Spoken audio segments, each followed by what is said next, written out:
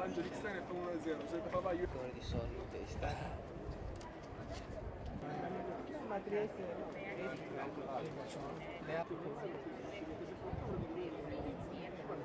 Allora, sono Riccardo Pila, delegato nazionale della Democrazia Cristiana Storica. Noi qui siamo a Piazza Montecitorio perché siamo una, per una raccolta firme, una raccolta firme importante, ossia quella per la modifica del Trattato di Dublino, Dublino 3, perché, che riguarda il, il fatto dell'immigrazione, un fatto di, di, attualità, di interesse pubblico. Noi pensiamo che questo non è un problema solamente italiano, ma riteniamo che sia un problema europeo, ma che l'Europa debba prendersi a carico questo importante eh, dramma, perché è un dramma che porta con sé migliaia di vittime.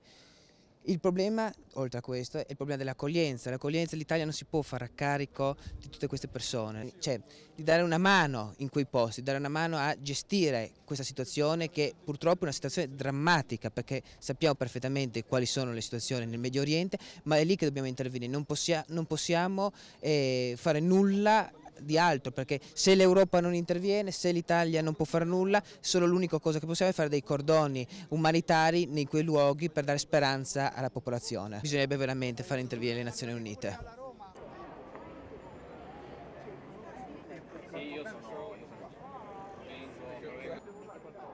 Eh, lo so, lo so.